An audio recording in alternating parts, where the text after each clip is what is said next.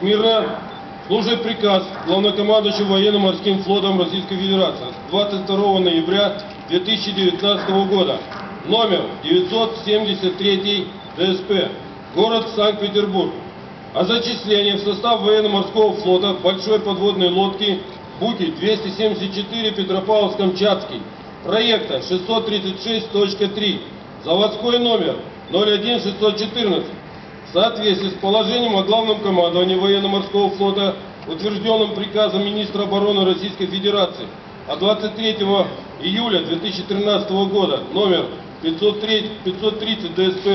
статьями 127, 175, положение о государственной приемке кораблей и морских судов обеспечения, введенное в действие приказом главнокомандующего военно-морским флотом от 2 ноября 2000 года, номер 400,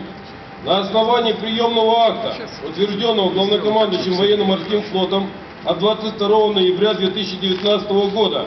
приказываю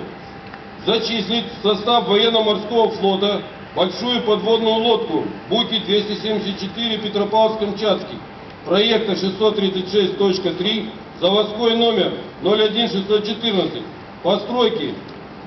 акционерное общество Адмиралтейские верфи, город Санкт-Петербург. Большую подводную лодку Буки-274